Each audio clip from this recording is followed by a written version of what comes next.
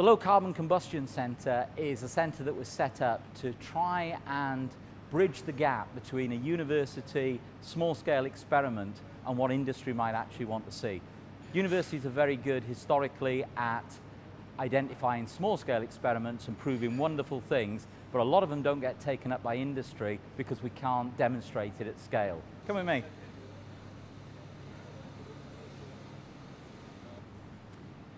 If I start with this rig over here, it may just look like a heap of uh, bits put together, but what we're actually looking at is a solid oxide fuel cell facility.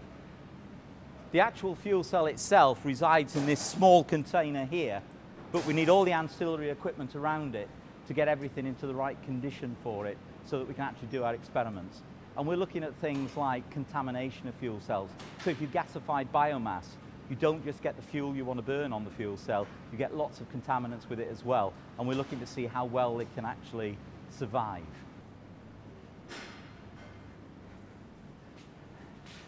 We're looking at a facility here that's actually a regenerative thermal oxidizer.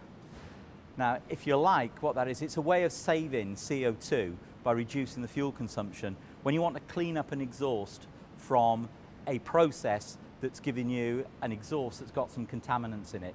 This is being used with um, the aluminium industry where they're actually putting out some rather nasty pitch and volatile organic compounds into the atmosphere if we don't do something with it. So we use a combustion process to burn those off and clean it so that the exhaust gas goes out clean. But we want to save some energy. So what we do is, whereas heat goes up the chimney afterwards, we use that to heat up some bricks. And we have some bricks here So what would happen is we'd heat these up and then we'd switch and take the heat out of them to save us burning fuel. The next rig that we have here is a 20 kilowatt down-fired burner. The burner is actually missing off the top of this. It's away being relined at the moment. But this rig enables us to burn coal, powdered coal, pulverized fuels, and also some biomass. Here we have a fluidized bed combustor. Winston will tell you something about our fluidized bed combustor. Basically, this is a very good replacement for the current stationary combustor that is generally being used. What it is is you have a sand, a medium, which we use sand normally for fluidized bed, and it acts like a fluid so that you can cover most of the particles. The other thing is that it helps to to shake the particles so that if there are ash covering any pellets or particles that you're burning, it tends to come off and then you can burn the inside. So you get a very good combustion, very complete combustion. This is a rotary kiln. Now, by a rotary kiln, what we have is a tube that's about 18 inches diameter that rotates at up to about three revs per minute. The rig itself will also incline by a couple of degrees, so we can keep things in a hot tube and look at process with them that can be there for up to an hour. Now, the sort of things that you might want to do with this is you can put products in at the feeder end uh, on the hopper this side, allow it to go through, and you can get gasification or pyrolysis and convert waste into fuel. Other things you can do are process engineering ones. So for instance, you could throw rayon fibers in this end and get carbon fiber out the other side. So depending on how long you take, what the size of the product you're putting in, you've got a whole range of things you can do with it. I mentioned earlier on the idea of carbon capture and sequestration. We are in the process of building a 300 kilowatt um, down-fired burner, similar to the pulverized fuel rig we saw earlier. Until we get to that facility and get that installed here, we do have a conventional furnace. And by a conventional furnace, we have a furnace with a burner at the front end. Now with this, we've adapted it so that it can actually run on pure oxygen instead of air. But if we burn something with pure oxygen, we end up with a much higher temperature.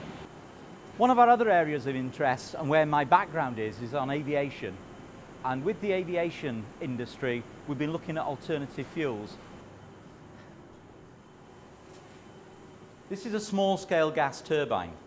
It's an APU. The beauty of the APU is that by changing the load on the generator, that we can actually change the air-fuel ratio on the combustor without changing temperature and pressure. And that lets us understand how the combustion process is going on and how changes in the combustion process might affect the emissions coming out the back end. We're now at our atmospheric combustion line where we can look at combustion systems and test them under atmospheric conditions. In particular, what we're looking at here is burner development, new, new fuel injectors for the future. So we have here, if you like, one of the largest hair dryers in Sheffield. At the top here, we have what we call a gas analysis ray, and that's sniffing the exhaust, if you like. The gases are then transferred via that red line that you can see there up to our gas trailer where we actually measure. This is our mobile emissions laboratory and uh, we're using this uh, to measure the exhaust emissions from various commercial burners and also to find out the, the emissions from uh, various types of alternative fuel. We also are looking at some acoustics while we do this. We're talking about very, very large pressure waves when we talk about acoustics. So large that they can actually shake the engine to pieces and destroy it. We'll now move to the ASRIG, the Aviation Fuel Thermal Stability Test Unit. It was built in the early 90s by Rolls-Royce and it's one of uh, three rigs in the world that uh, do this type of testing. Uh, basically we're looking at uh, recreating the fuel system from the tank uh, in the aircraft right the way through to the combustion chamber. So all the filters and uh, moving parts in the flow in, in the engine that it is exposed to, but mainly the, the heat loading that the fuel gets. If we look at the way engine technology has been developed in terms of making it more efficient, it's to increase the pressure ratio. Increasing the pressure ratio increases the temperature, and it won't be long before we're increasing the temperature and pressure to a stage where the fuel can't take it. One last thing that's probably worth showing you at this stage is we saw an APU, which is effectively a gas turbine. That's what's currently accepted today as the de facto way of propulsion for aircraft. But the thing is, we perhaps might need to think out of the box for the future. And one of the things we're looking at is pulse detonation engines. And this is a prototype that we've been building to do some research on. What we're trying to do here is actually produce a pulse detonation engine which is actually going to work with a liquid fuel and enable us to have a very efficient propulsion source that might even be as, as good as half the fuel consumption over today's aircraft.